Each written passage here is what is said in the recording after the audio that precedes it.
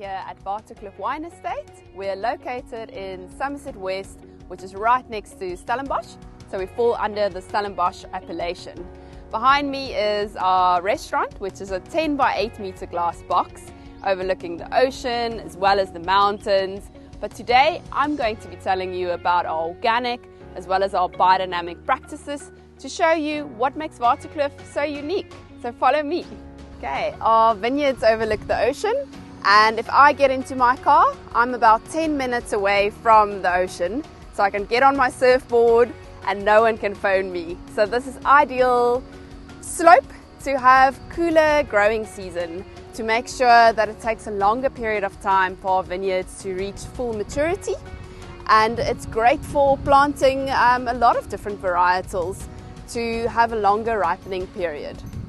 Okay, our unique terroir, as you can see behind me, we have an amphitheatre of vineyards where we've got different slopes with different aspects. So we can work with varietals like Sauvignon Blanc, we've got Chenin Blanc right at the bottom, we have nice water coming through, Cabernet Franc that's just below our Sauvignon Blanc, warmer slopes for Cabernet Sauvignon.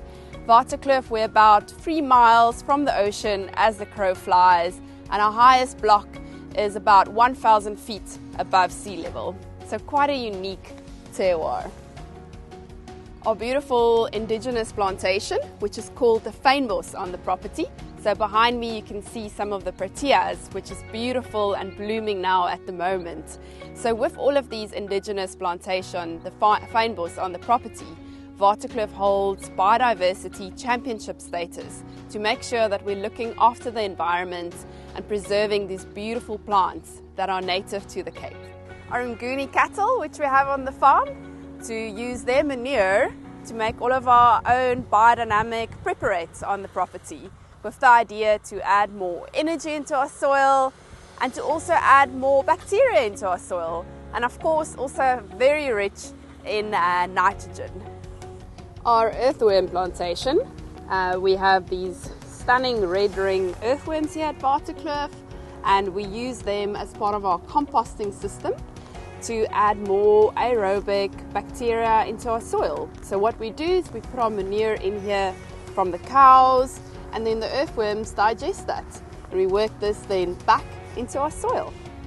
Our Angora goats form part of our deep bed composting system to break down or to eat the plants um, coming from the different farms um, to Waterkloof and then that goes back into our compost which we then work into our vineyard during the winter period. Our Percheron horses which we use in our vineyards rather than using tractors too often.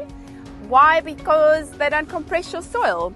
Horses' hooves are a lot smaller than massive tractor wheels and the whole philosophy here at Waterkloof is to have soil that's loose where the roots of the vineyards are going down six meters to truly express this beautiful terroir which we have.